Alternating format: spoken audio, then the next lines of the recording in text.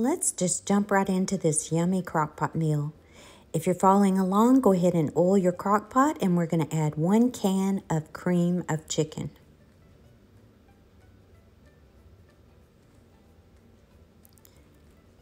Add one can of cream of mushroom.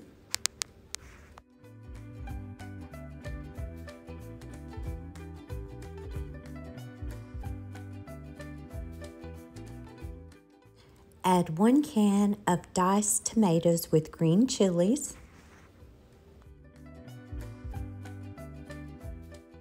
Add half a block of cream cheese, which amounts to four ounces.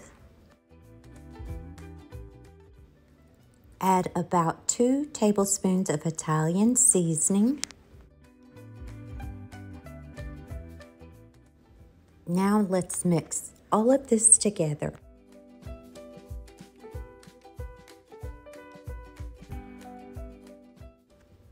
Then we are going to add two very large chicken breasts, which amounts to about two pounds of chicken.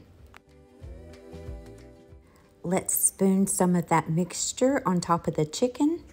Now we're gonna let this cook for about four hours, three to four hours on high or seven to eight hours on low. At the halfway mark, which for me was about three and a half hours, I went ahead and shredded that chicken up. And you'll want to do that as well. 30 minutes before this is almost done, you'll want to go ahead and prepare your pasta. I'm using whole grain pasta. You can get this at Walmart.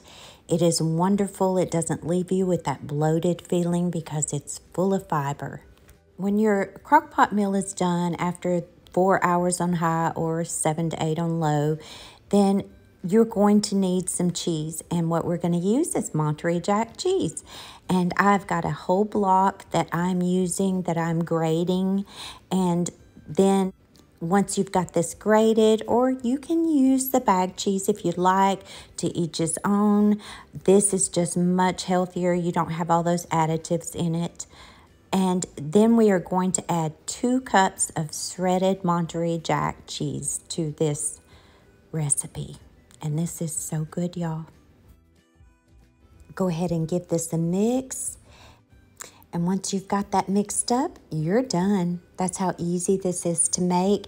You can put your pasta right in that crock pot with it if you'd like. I did not.